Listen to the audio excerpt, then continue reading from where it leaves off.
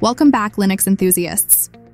Ubuntu 23.10, codenamed Mantic Minotaur, one of the most popular Linux distributions, is known for its regular releases that bring the latest software and technologies to users. Ubuntu 23.10 is no exception, and it promises to offer a fantastic user experience.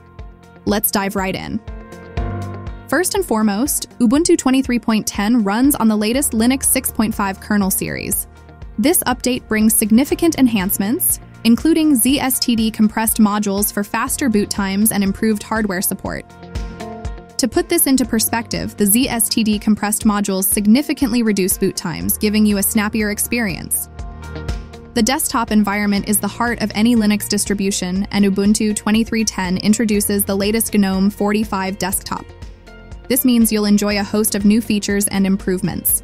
Some highlights include a new activities indicator, a camera indicator, a quick setting for changing the keyboard backlight, and revamped settings and Nautilus File Manager apps. If you're a fan of Snap apps, you're in for a treat. Ubuntu 23.10 includes various performance improvements for default Snap apps like Firefox. For instance, Firefox Snap now enables native Wayland mode by default when using the Wayland session, resulting in a faster browsing experience. The Ubuntu desktop installer has also received some updates.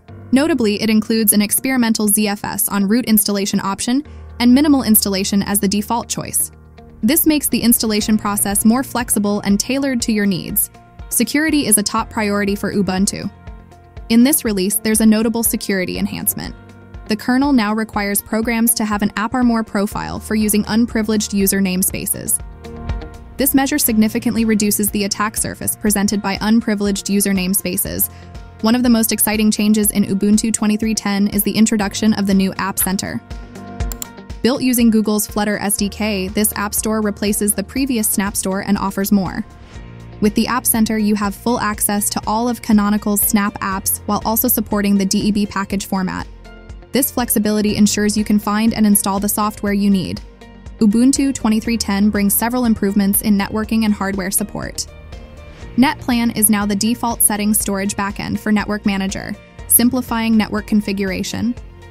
Additionally, support for Raspberry Pi 5 and SiFive HiFive Pro P550 boards has been added, expanding the range of compatible devices. Keeping your device's firmware up to date is crucial for optimal performance and security.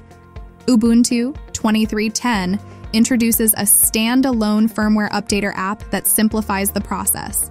Now, updating your device's firmware is just a click away. For organizations that use Active Directory certificate services, Ubuntu 23.10 introduces machine certificate auto enrollment support, enhancing security for business users. This feature streamlines certificate management and ensures secure communication.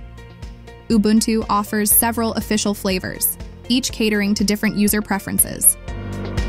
Let's take a quick look at what's new in some of these flavors. Kubuntu and Ubuntu Studio come with KDE Plasma 5.27 LTS. Lubuntu offers LXQT 1.3.0. Ubuntu Cinnamon features Cinnamon 5.8, and Ubuntu Budgie includes Budgie 10.8.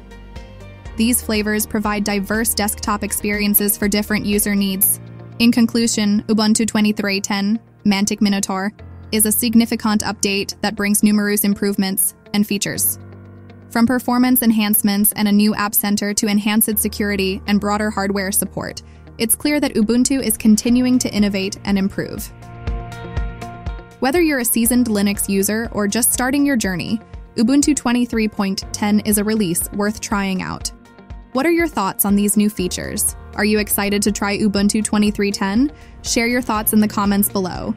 Thank you for watching, and if you found this video informative, don't forget to give it a thumbs up and subscribe for more tech updates. See you in the next video.